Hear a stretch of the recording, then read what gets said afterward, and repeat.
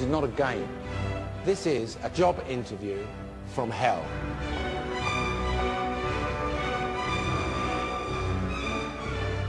From all corners of the country, 16 people have come to London. I don't care where you come from, whether you started in a council flat or born with a silver spoon in your mouth.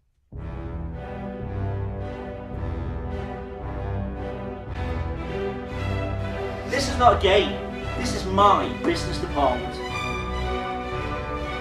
From all corners of St Ninians, 10 students have come to the business department.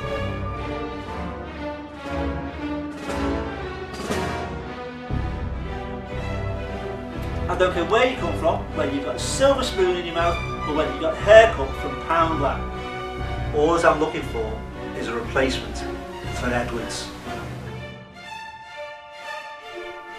They're here to compete to be the apprentice of a man famously hard to please. I'll tell you now, no one, no one is going to make a fool out of me. To succeed, they're going to have to live, I am your boss. You're not my boss, you're my project manager. No, I'm your boss. You're nothing to me. and work together.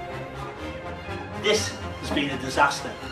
I promise you, my friend, you will be out of that door before your feet touch the ground.